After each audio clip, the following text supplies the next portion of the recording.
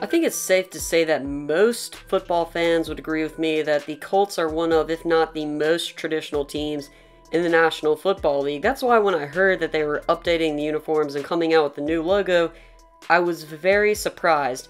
But I didn't expect much of a change because of their culture and because the Colts is just a classic brand that really shouldn't be changed. And they came out with new uniforms. If you haven't seen them already, they also came out with a new logo. Let's cover the logo first. So it's a C with the state of Indiana in the middle. I think it's a pretty unique secondary logo. It's not like it's the primary logo. They're still going to have the horseshoe.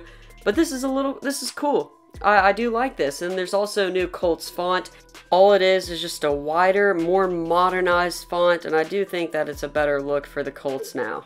As you can see, it's way more modern and it kind of gives that new age feel to the Colts.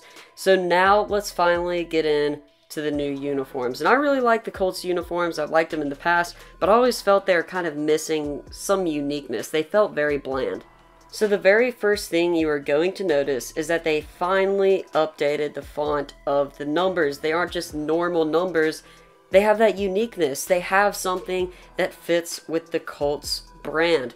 The helmet is slightly different with the new word mark details. You can see there they still have the gray face mask, still have the normal stripes, but also black is being added and they're also using a secondary logo on the neck.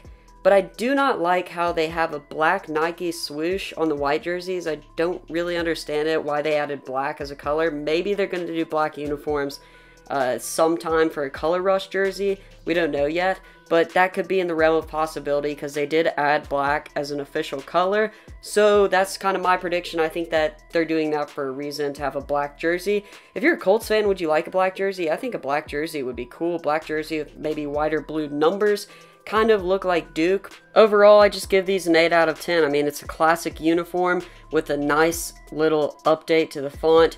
And I think overall, the Colts have just classic jerseys in general, and along with a lot of other NFL teams who are updating their look, I think it was a great choice by the Indianapolis Colts. Let me know what you think down below. Thanks for watching the End Zone. Make sure to like, subscribe, and comment so we can move the chains.